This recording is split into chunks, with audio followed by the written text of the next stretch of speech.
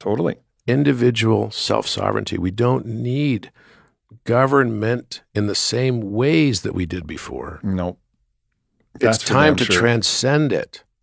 And that's, you know, if if there's something I'll dedicate my life in the last, you know, 30 years or so of my life, it will be to helping to establish systems, structures around education, around, you know, new ways of looking at university. I think that's going to dramatically shift. New ways of expanding perspectives also where the university governance. understands the universe. How about that? Yeah, something like that, right? the one song, um, and and then also contextualizing that spirituality doesn't require religious dogma. hmm Those are the things that I think could benefit my children and my p- children's children, and hopefully will be a catalyst for being the change we want to see in the world. Amen.